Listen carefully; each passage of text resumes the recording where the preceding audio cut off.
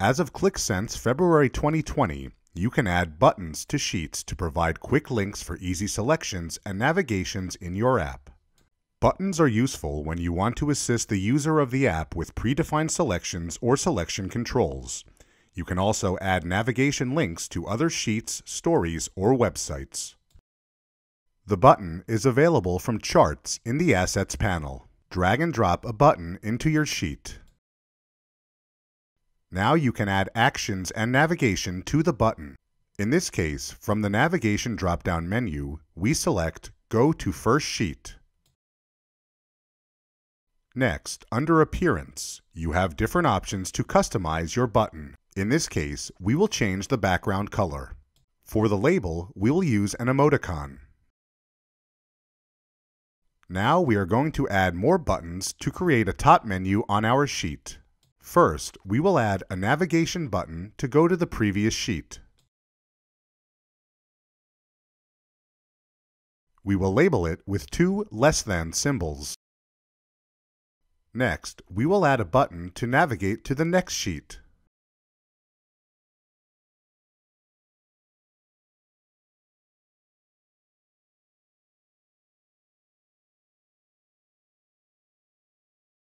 Buttons can also be used to trigger actions. In this example, we will add a button that will clear all selections. We will also change the background color. You can add icons to customize your button. In this case, we'll use the Clear Selections icon. Next, we will add two buttons to move backward and forward in our selections.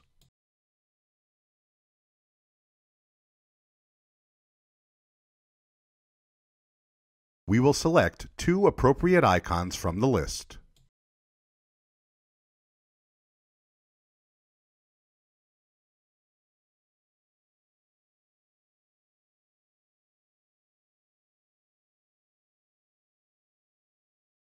You can also use a button to apply a specific bookmark. In this example, we are going to use the top three countries bookmark that we have previously created.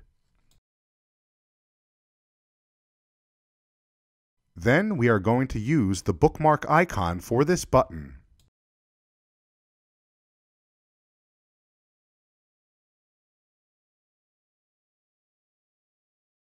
You can also add a link to an external website to a button.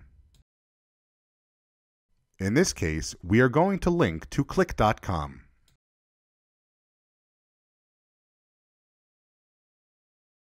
A button can use an image as a background.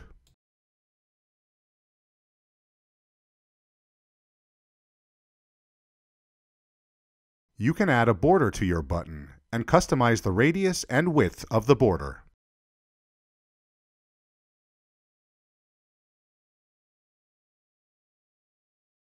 By clicking the first button, you are redirected to the first sheet.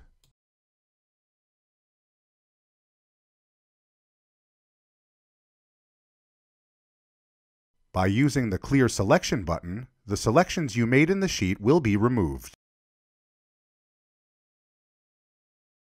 By selecting the Apply Bookmark button, the top three countries bookmark will be applied to your sheet. By selecting the last button, you will be taken to the Qlik.com webpage.